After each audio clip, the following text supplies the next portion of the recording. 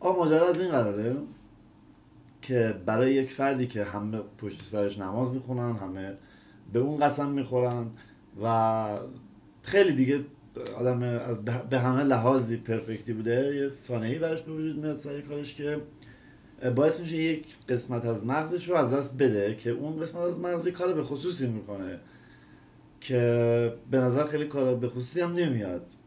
البته خب نظر خیلی قاطعانه هم وجود نداره که چه اتفاقی برای ایشون افتاده.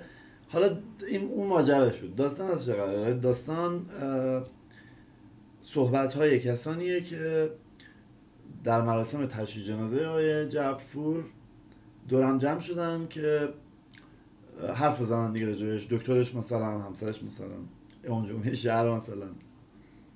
آره و واقعا اگر به داستانی خوندم و خیلی لذت بخش بود که ایرانی بود این داستان.